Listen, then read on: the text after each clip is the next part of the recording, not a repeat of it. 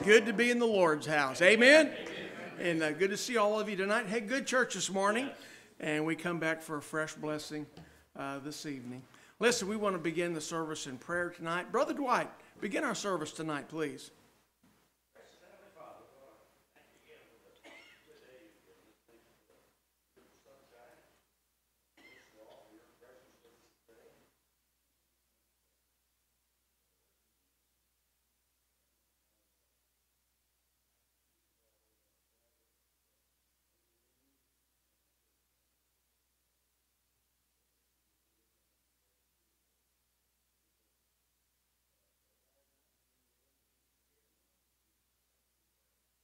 Amen. Amen. All right, just a couple announcements uh, going on this week. General board meeting right after the service tonight. Uh, Wednesday worship, 7 o'clock. Brother Rich is up this Wednesday. Friday, Ladies of Grace are back in action, and uh, they'll be having their monthly luncheon, and that's this Friday in the fellowship hall. Everything's provided, so don't bring anything. That's uh, that's a good invitation. 12 o'clock sharp, okay? And then uh, youth lock in. And while there was a bunch of youth here this morning, hope they all can come to the lock in. And uh, but that's seven o'clock to, until when? I just figured. uh, just depends how long the night is, huh? But uh, no, that'd be a good time for our our youth. Pray for them. Pray for all those that'll be working, and it'll be it'll be a nice time. Okay, uh, that's what's going on. Growth campaign. Uh, had another good crowd today. Next Sunday is Family Sunday. Let's see how many family members we can get here, and that would just be wonderful seeing a bunch of families in the house of God next Sunday. Hey, Lord bless you. Good being in church tonight. Let's stand while we sing our first song. Hmm? That's the next Friday. Don't be late. Bring the popcorn, Bill. We're going to sing Send the Light. Page 371 if you'd like to use the hymnal.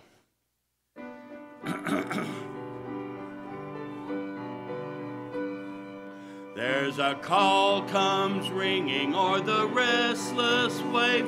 Send the light, send the light. There are souls to rescue, there are souls to save. Send the light send the light, send the light, the blessed gospel light, let it shine from shore to shore. Send the light, the blessed gospel light, let it shine from shore to shore. We have heard the Macedonian call today, send the light send the light, and a golden offering at the cross we lay. Send the light, send the light, send the light, the blessed gospel light. Let it shine from shore to shore. Send the light, the blessed gospel light. Let it shine from shore to shore. Let us pray that grace may everywhere abound. Send the light, send the light, and a Christ-like spirit everywhere be found. Send the light, send the light, send the light, the blessed gospel light. Let it shine from shore to shore. Send the light, blessed gospel light, let it shine from shore to shore. Let us not grow weary in the work of love. Send the light, send the light. Let us gather jewels for a crown above. Send the light, send the light, send the light,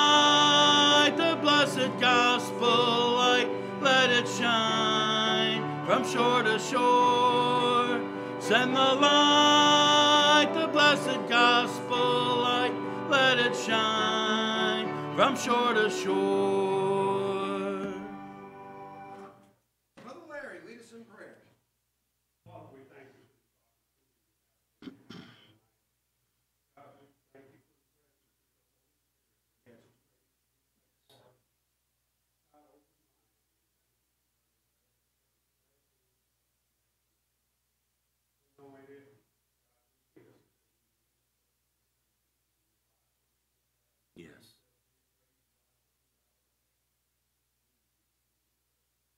Amen.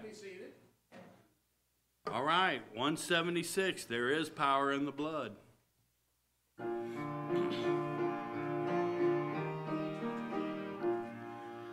Would you be free from your burden of sin? There's power in the blood, power in the blood.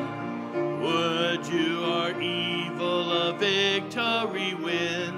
There's wonderful power in the blood. There is power, power, wonder working power in the blood of the Lamb. There is power, power, wonder working power in the precious blood of the Lamb. Would you be free from your passion and pride? There's power in the blood, power in the blood. Come for a cleansing to Calvary's tide. There's wonderful power in the blood. There is power, power, wonder working power in the blood of the Lamb. There is power,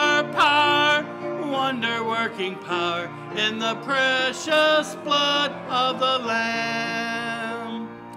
Would you be whiter, much whiter than snow? There's power in the blood, power in the blood. Sin stains are lost in its life giving flow. There's wonderful power in the blood. There is power, power, working power in the blood of the Lamb. There is power, power, wonder working power in the precious blood of the Lamb. Would you do service for Jesus your King? There's power in the blood, power in the blood. Would you live daily his praises to sing? There's wonderful power in the blood. There is power, power, wonder working power in the blood of the Lamb. There is power, power, wonder working power in the precious blood of the Lamb. Turn the page, 178. Are you washed in the blood?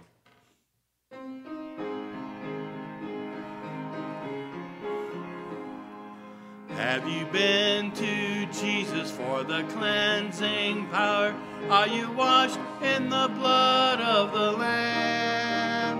Are you fully trusting in His grace this hour? Are you washed in the blood of the Lamb? Are you washed in the blood, in the soul cleansing blood of the Lamb?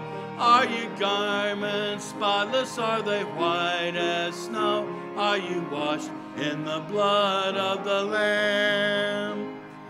Are you walking daily by the Savior's side? Are you washed in the blood?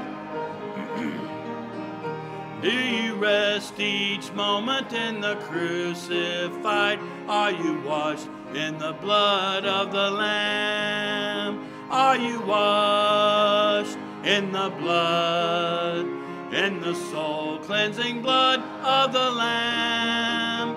Are your garments spotless? Are they white as snow? Are you washed in the blood of the Lamb? When the bridegroom cometh, will your robes be white? Are you washed in the blood of the Lamb?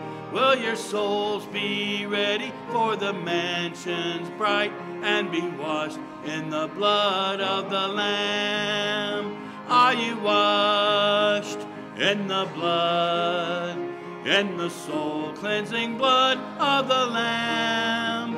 Are your garments spotless? Are they white as snow? Are you washed in the blood of the Lamb?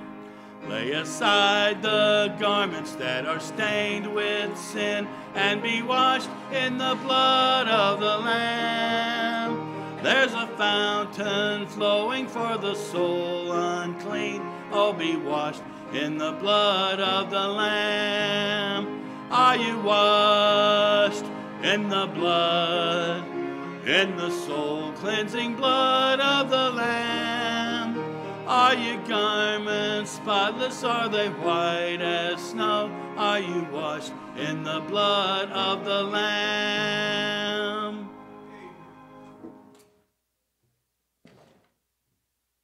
I'm just going to sit here. What off.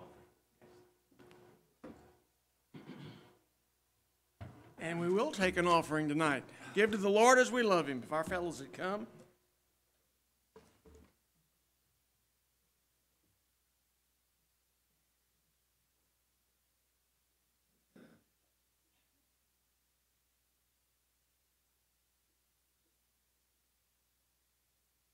Brother Rick, lead us in prayer, please.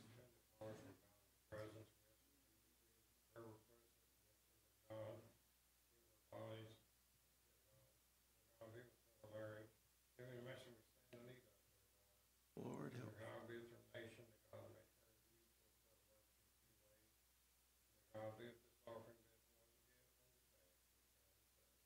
Amen. Amen.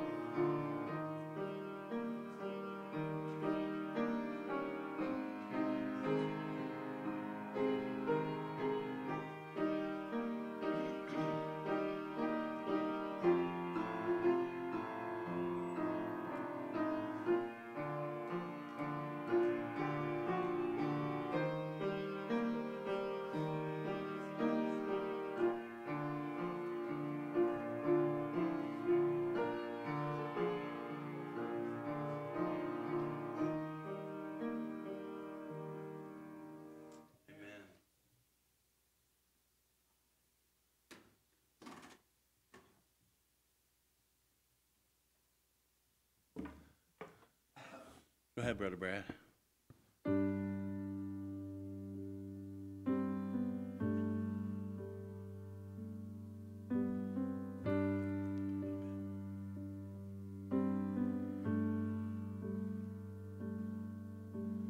Amazing grace, how sweet the sound that saved a wretch like me.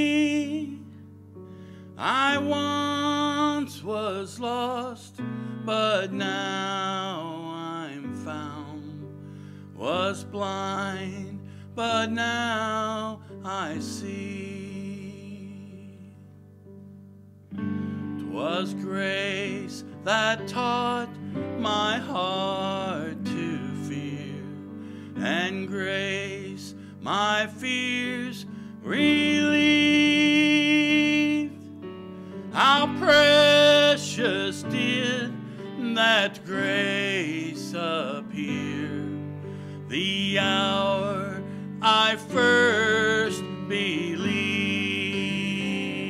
My chains are gone, I've been set free. My God, my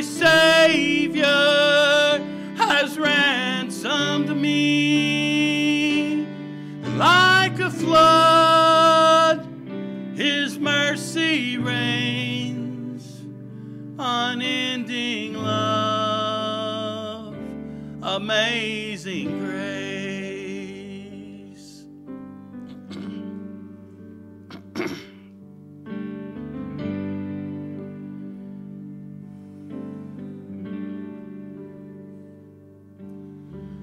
The Lord has been so good to me. His word, my hope secures.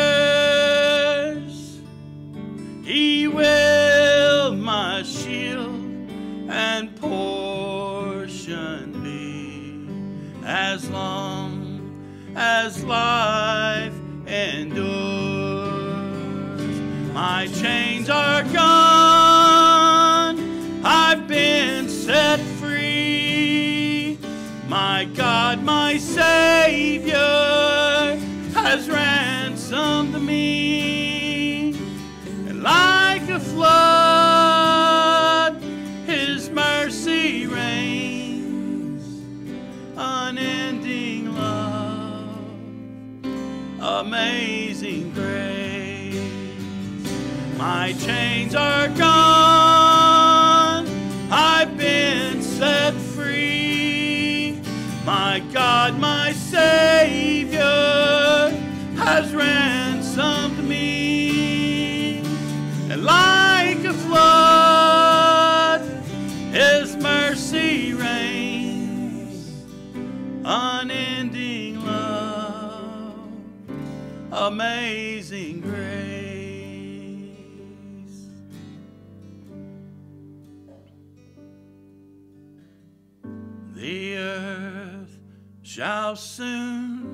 dissolve like snow. The sun forbear to shine. But God, who called me here below, will be forever mine will be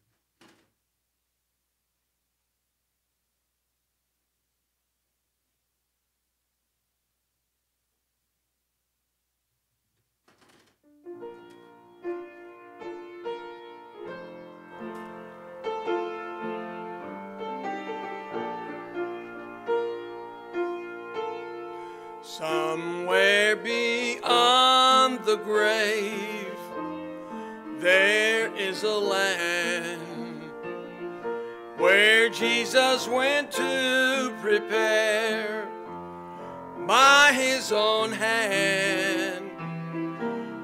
And for the saved by grace, there is a resting place, and in a few days it will be mine. Some call it heaven, I call it home. Some call it dreamland. Well, let me dream on. Some call it paradise, somewhere beyond the sky. Some call it heaven, I call it home.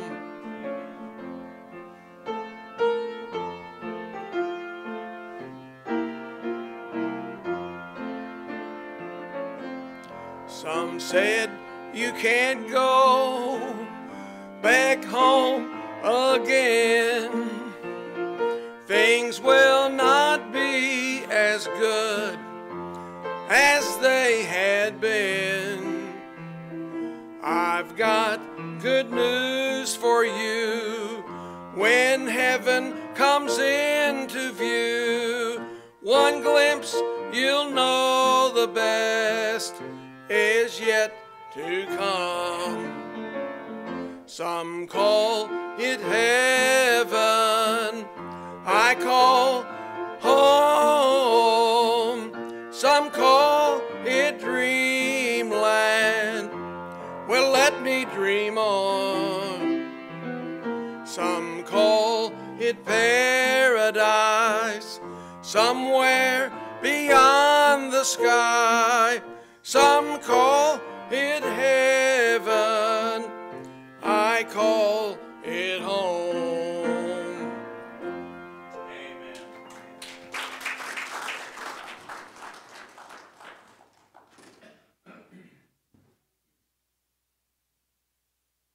taking my jacket off, but not to play an accordion, all right?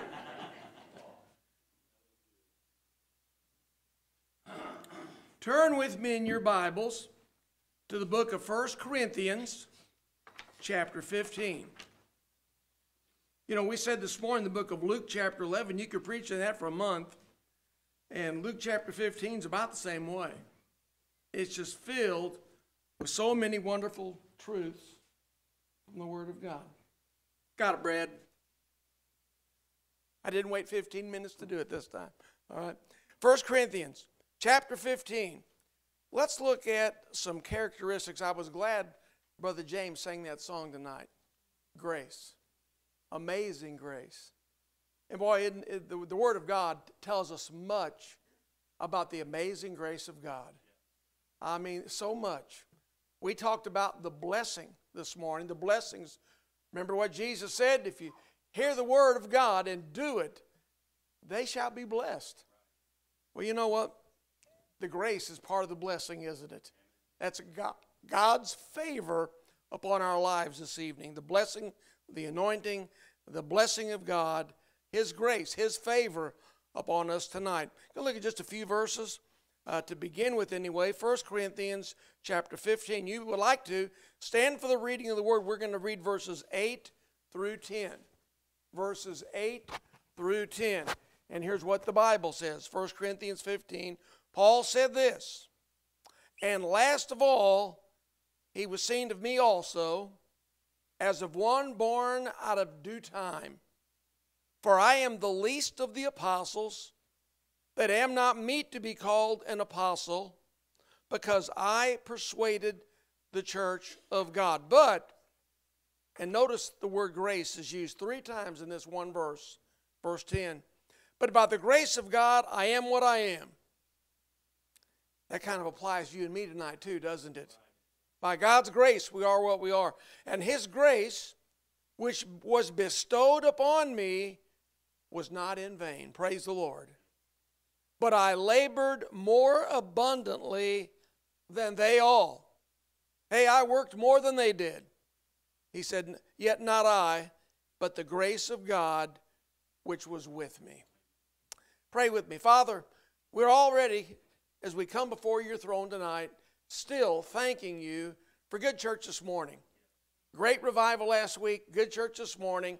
And Lord, as we close out this Lord's Day, how we pray for your precious spirit of presence, the anointing of God to fall upon this place. Lord, let us just be so blessed tonight as we begin to think about the grace, the favor of God. Lord, what you've done for us and what you can do through us. Lord, that amazing grace. How sweet the sound. Lord, would you bless our worship tonight? Let it be acceptable to you and pray that we might honor you in every way. We need you. Can't do anything without you. So bless, we pray. In Jesus' name, amen. You can be seated. I believe in the church world and in the language that we use as Christians, the word grace must be one of the most wonderful words we use. Grace. God's grace. His grace. Well, we're not for His grace, none of us would be saved tonight. He has saving grace. Praise the Lord. But then you know what?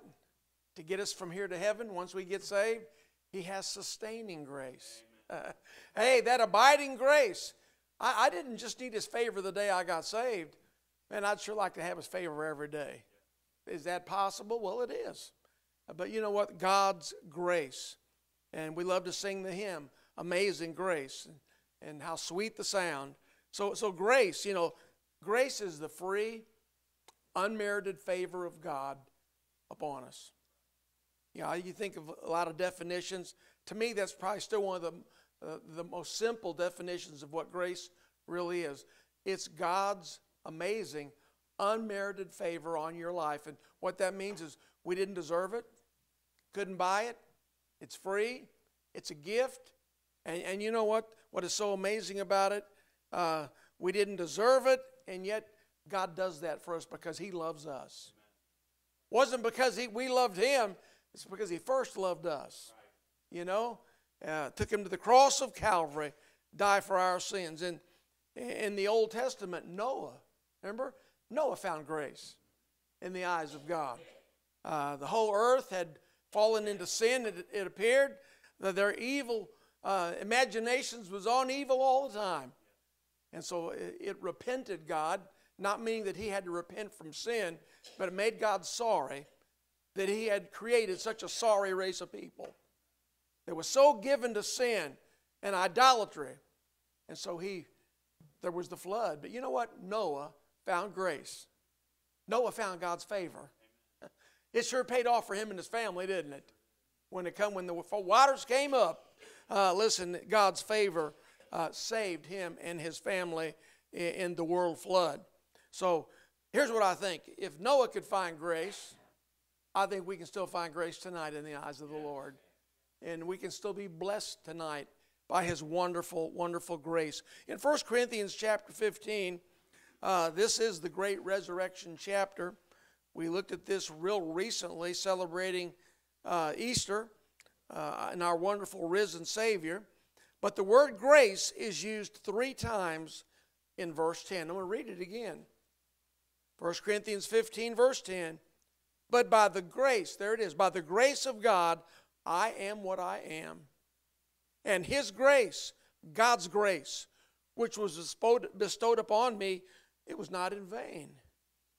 But I labored more abundantly than they all, yet not I, but the grace of God which was in me. You know, when we, we think of that, God, uh, he, He's emphasizing that word grace in, in three times in that one verse.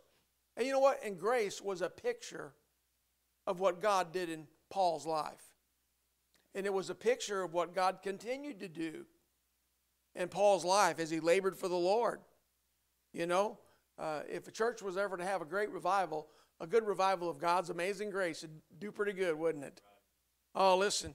Uh, now, what's sad tonight, there's a lot of uh, professing Christian circles and groups that have began to use grace as a license to sin. Got news for you. Grace wasn't meant to make you a better sinner. Okay?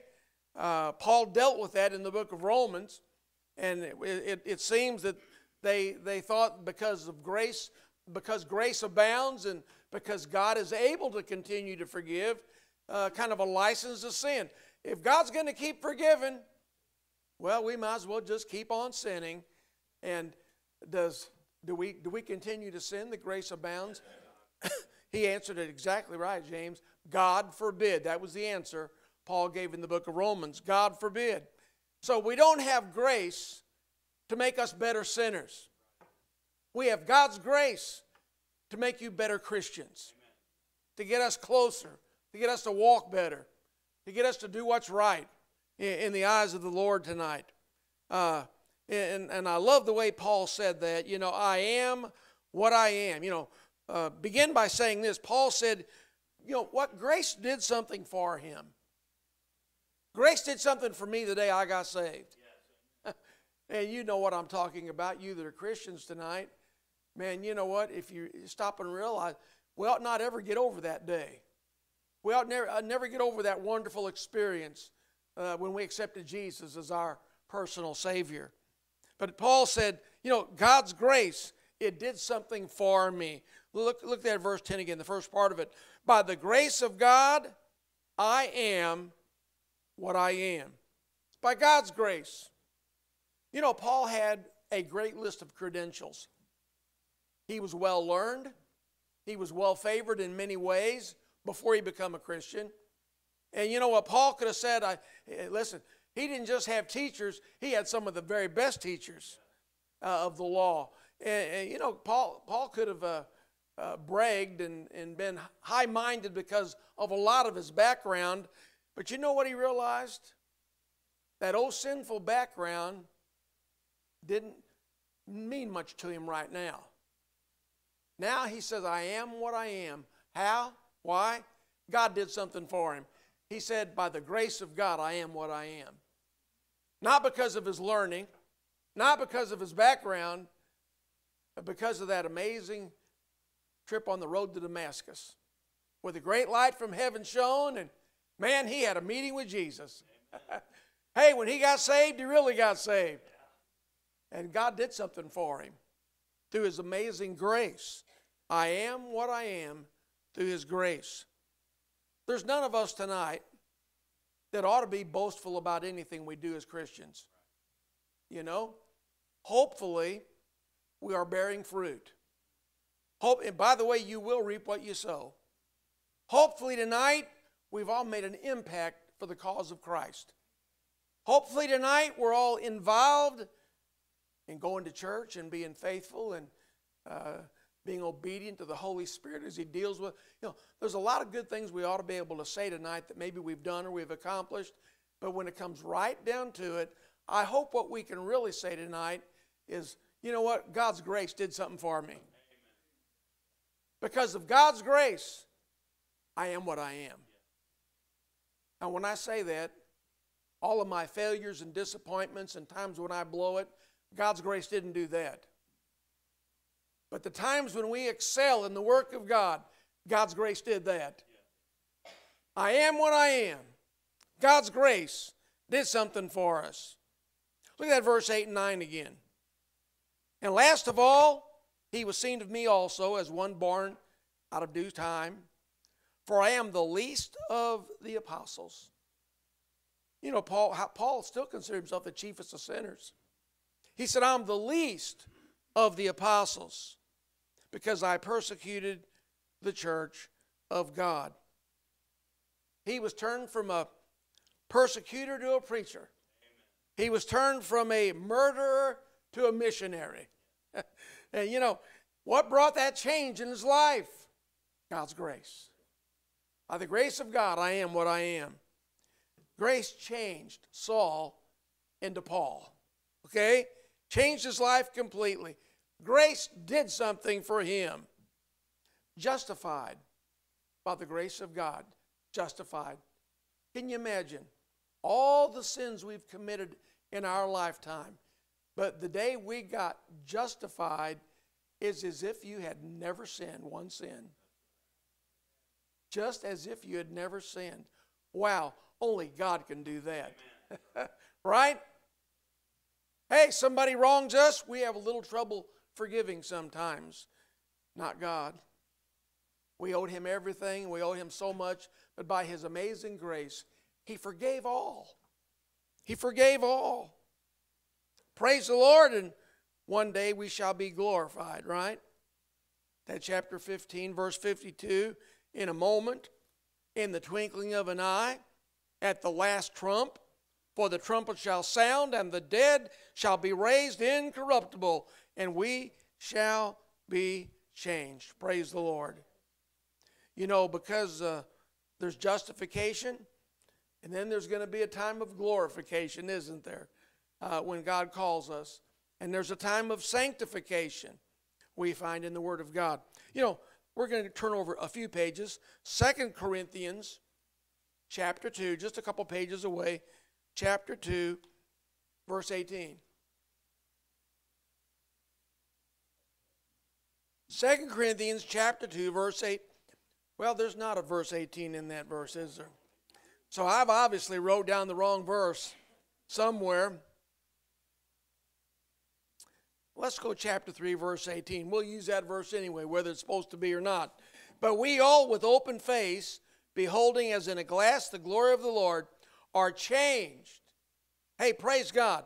Changed into the same image from glory to glory, even as by the Spirit of the Lord. We're changed bit by bit, little by little, and that's part of the act of sanctification. And by the way, that's a work of the of grace also. Grace, sanctification. Oh, grace ought to be happening in our life, molding us, changing us bit by bit, little by little, changing to be more Christ-like in our everyday uh, in our everyday lives. It, it was grace that saved us way back then. God's favor, His amazing grace. And it's His grace today that presents us before the Lord more Christ like than we was back then. Right? Now, so we, we find this. Now, me see if I can find a verse of scripture here. Book of Titus, chapter 2, verse 11.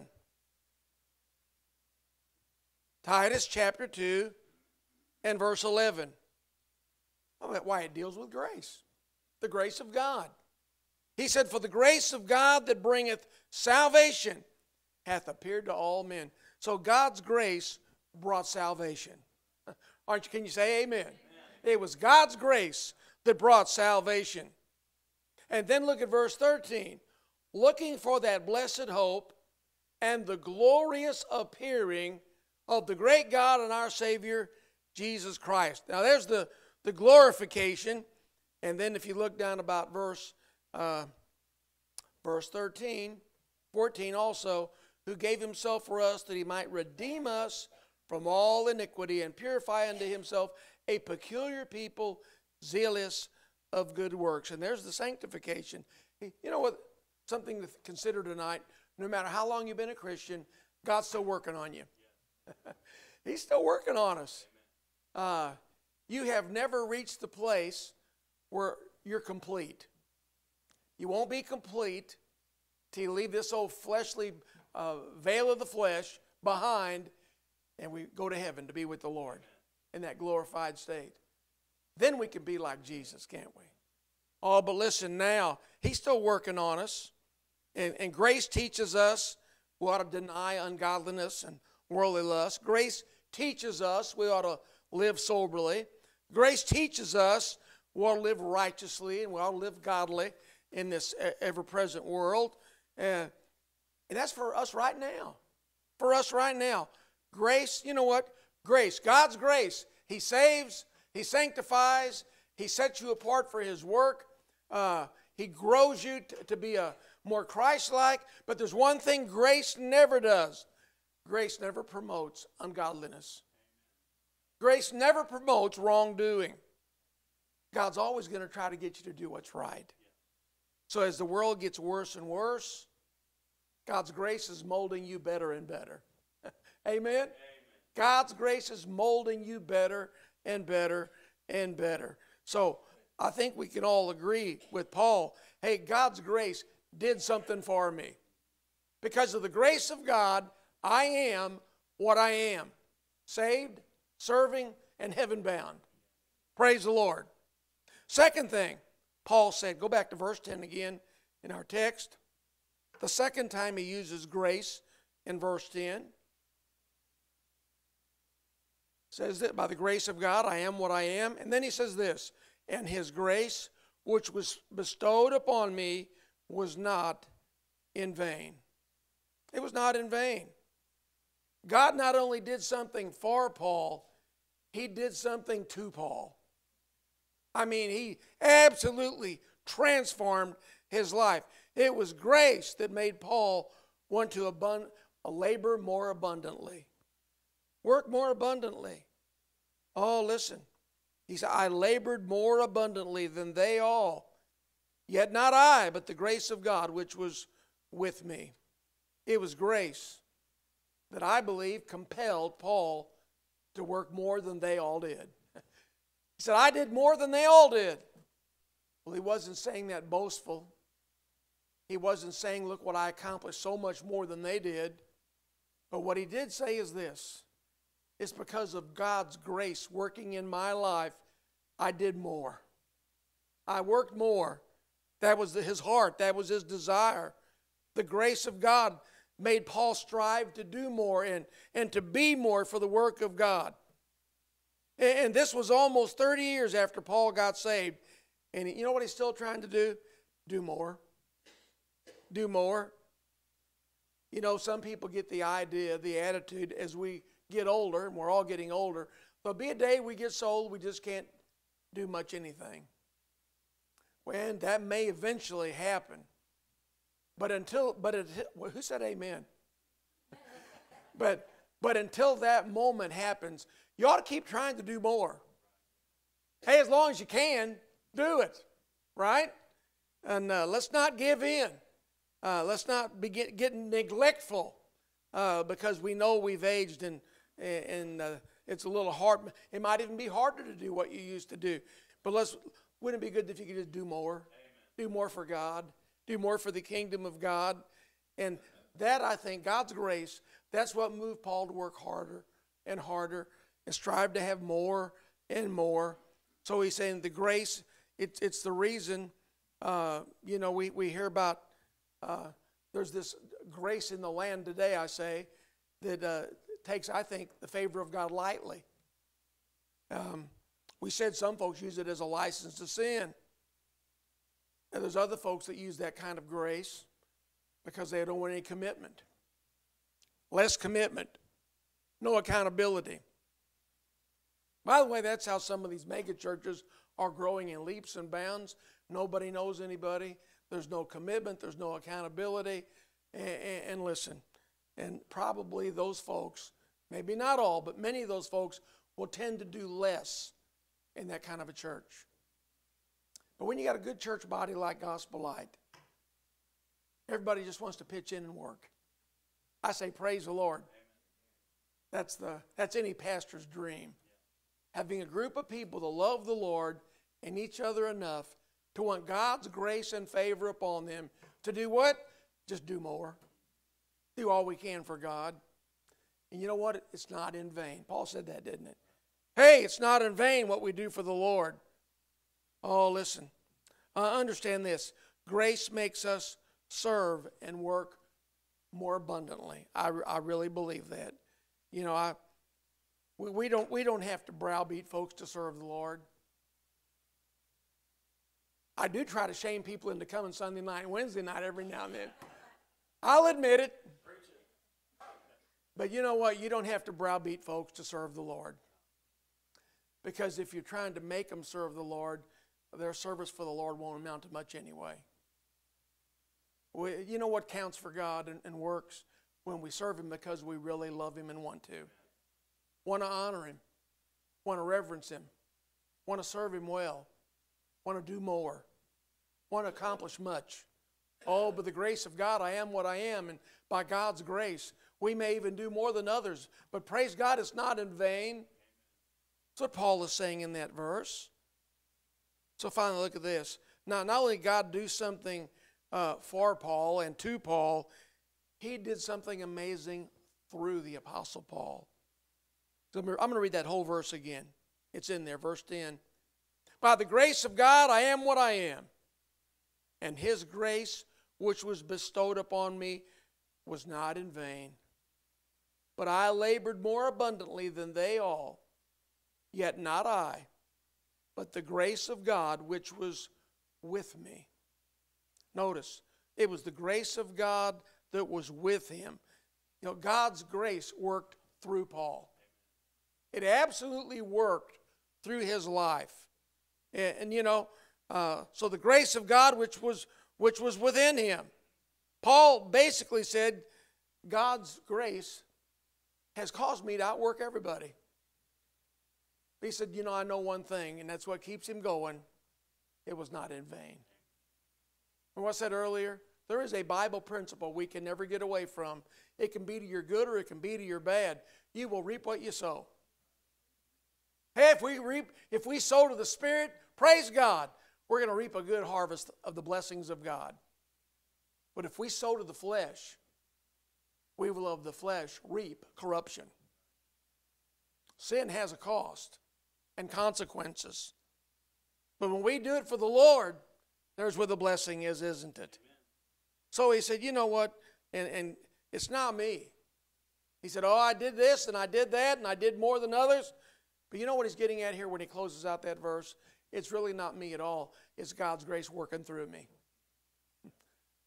You see Paul? Don't look at Paul. It's God's grace working through me. So, all that Paul accomplished, his abilities, his gifts, his anointing upon him, his preaching, his missionary work, multitudes he won to Christ, that was not Paul. That was God's grace working through Paul. And he saw the, vic- the victory of that in his life. You know what that means tonight for you and me? I hope we can get this. It's not about you and me at all. It's not. It's all about Him. You know, our, our, our kind of theme for this year He must increase, I must decrease. Not about us. But I'll tell you what, we can agree on one thing. Whatever we are, it's because of God's grace. God's grace, I am what I am. God's grace might even outwork some others, but it'll not be in vain because it's God's grace that has worked through me. That's the, that's the point. That's the message Paul was trying to get through. You know, when he talks about God's grace working through him, it reminds us tonight that, you know what? We're all just vessels to be used by God. And we either allow God to use us as a good vessel, or we turn sour and we turn south and we let the devil use us as a bad vessel.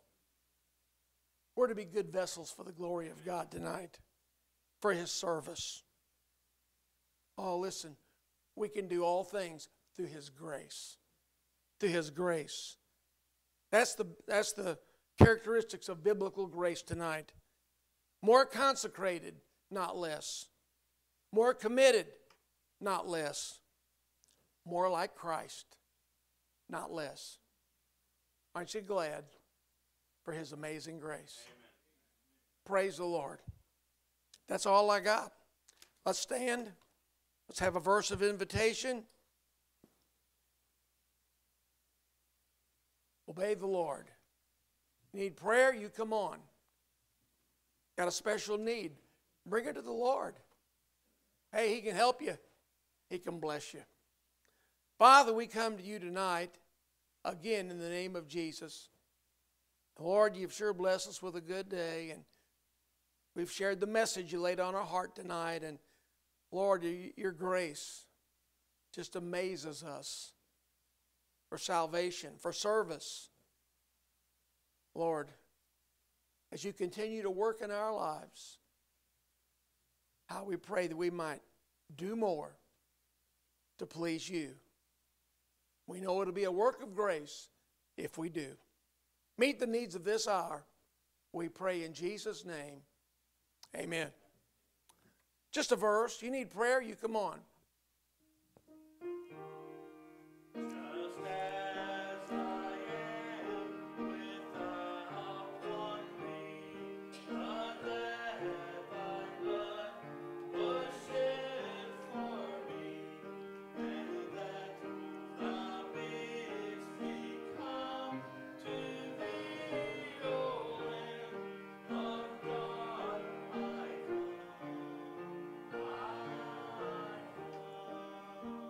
Everybody said amen. Praise the Lord. Been a good day. Let's sing our song. Because he lives, I can face tomorrow. Because he lives, all fear is gone. Because I know he holds the future. And life is worth the living just because he lives. Because he lives, I can face tomorrow. Because he lives, all fear is gone. Because I know he holds the future. And life is worth the living just because he lives. Oh, and we said, Praise the Lord.